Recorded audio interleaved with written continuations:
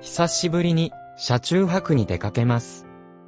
移動自粛や大雪やらで車中泊ができなかったのです。と言っても、県内ですけど、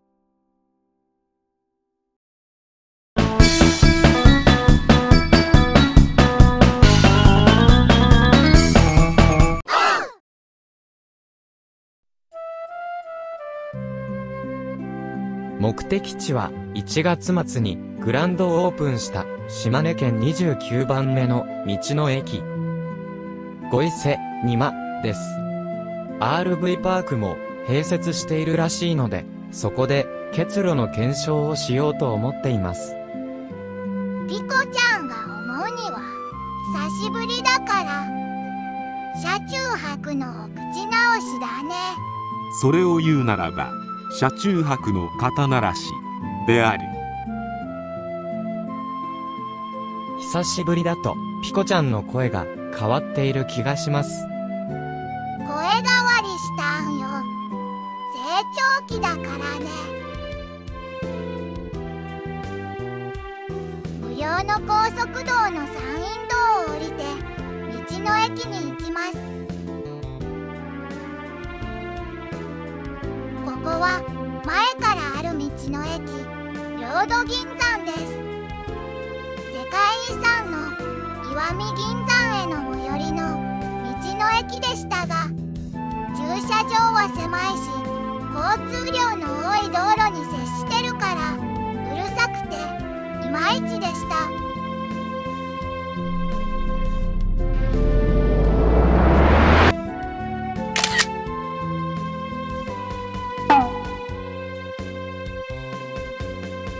よりも新しくできた道の駅の方が石見銀山に近いですね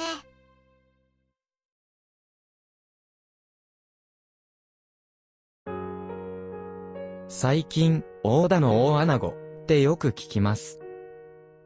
道の駅にも上りがあったし、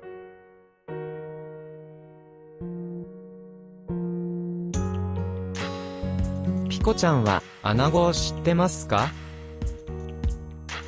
知ってるよ。海山商事の会社員だよ。それはマスオさんの同僚のアナゴさんである。太田市は島根県の中部にある市で日本海に面しています。世界遺産の石見銀山が有名です最近、なぜ大田市が穴子推しなのかは、島根県民もよく知りません。多分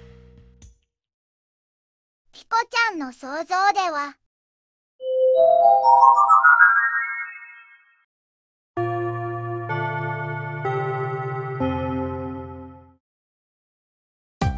大田市の観光は、石見銀山だけに頼っていては、ダメです。それ以外で、観光の目玉になるものを、みんなで探しましょう。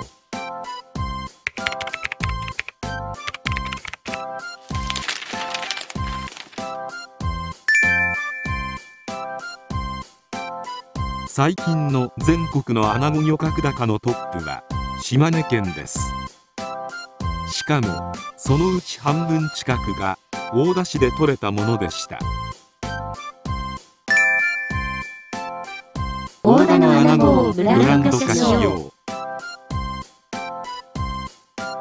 東京湾で採れたアナゴを使った江戸前寿司や瀬戸内海で採れたアナゴを使った広島のアナゴ飯が有名ですが東京湾も瀬戸内海も大田で採れる日本海産も同じ種類のマアナゴです。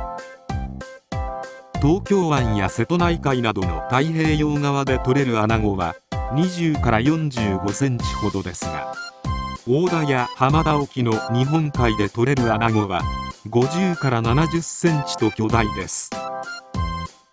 アナゴは悪食で何でも食べてしまいますがほとんど移動しないので生活している海域の餌でアナゴ自体の味が大きく変わります。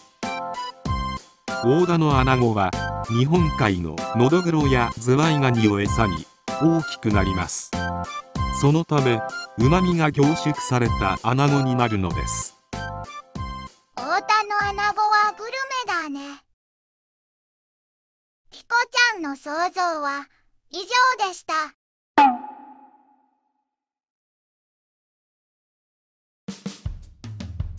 ということでお昼ご飯は穴子だね。出川の番組に出ていた食堂が近くにあるよ。出川さんだね。屋根に魚って書いてある。建物があるよ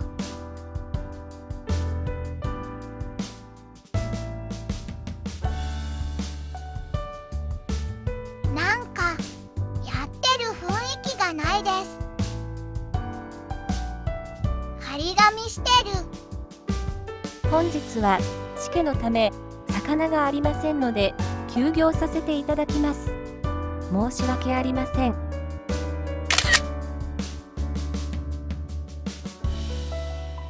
しけのために休業するなんて新鮮な魚を出している証拠だね。道の駅で食べようね。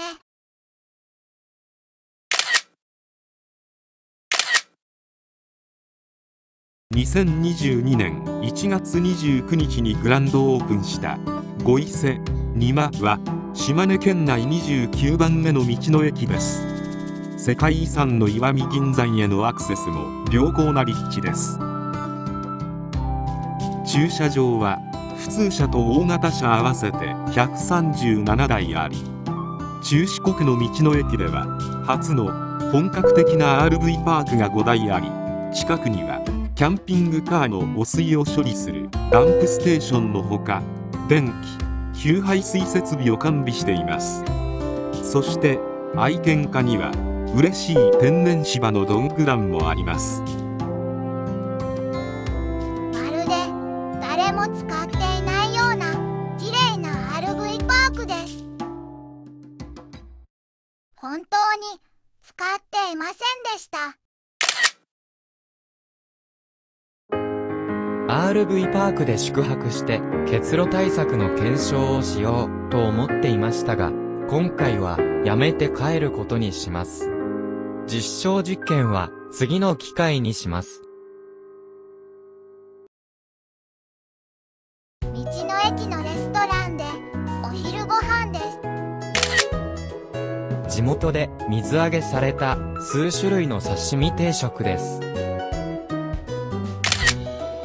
そして、丼に収まらない大穴子を丸ごと使った天丼です。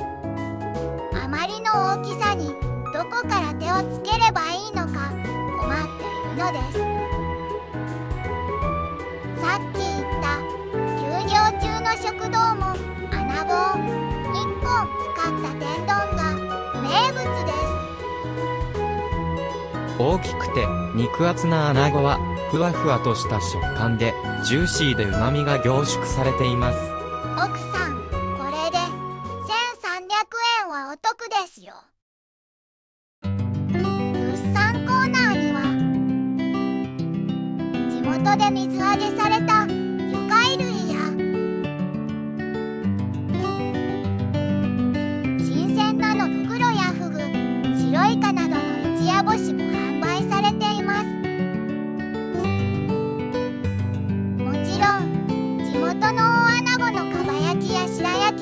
焼き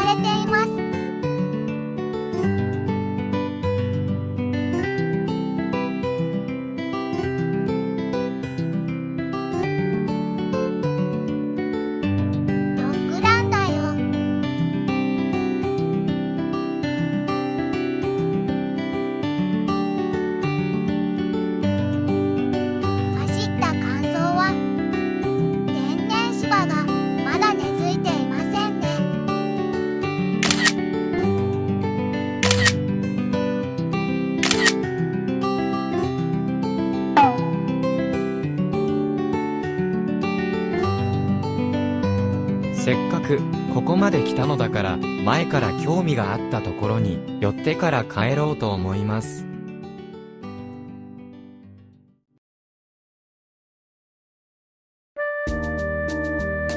道の駅から車で10分ほどのところにあります。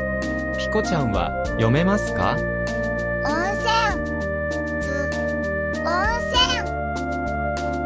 難読地名として有名な湯の津温泉です。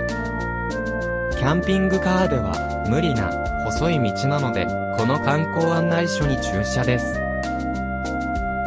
石見銀山とともに世界遺産に認定された湯の津は大正ロマンあふれる温泉地ですその代表的建物がレトロな洋風建築の公衆浴場の薬師湯です。男湯と女湯で入り口が分かれており中央に番台がある懐かしいスタイルです。そして日が暮れると街中がオレンジ色の明かりに包まれるのです。歴史を感じる源泉100%のかけ流しの温泉です。こういうノスタルジックで趣のある温泉はとても好きです。好きですとか言ってますがパパさんたち本当はこんな古い温泉よりスーパー温泉の方が好きなことをピコちゃんは知っているのです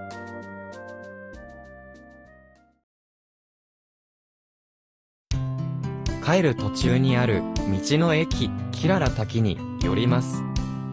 もう夕日沈んじゃったかな？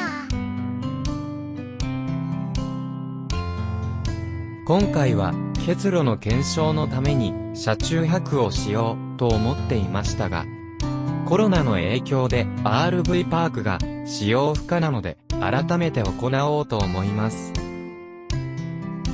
ただし、新しい道の駅の施設が素晴らしいことや、新ブランド、大田の大穴子の美味しさを知ることができてよかったです。